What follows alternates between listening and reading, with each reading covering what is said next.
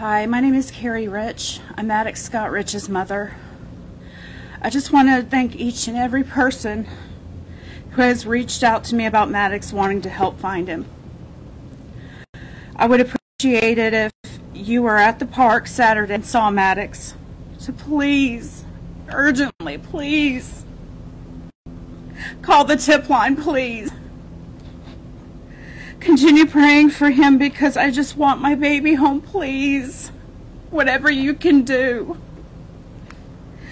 Maddox is my whole world and my reason for living.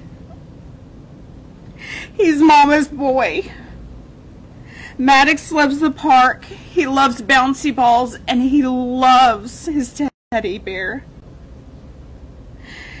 His smile is so contagious and his laughter is so precious. If you think that you have seen Maddox, please reach out to police. Thank you all for your love and support, and I just want to say, I want my baby back in my arms.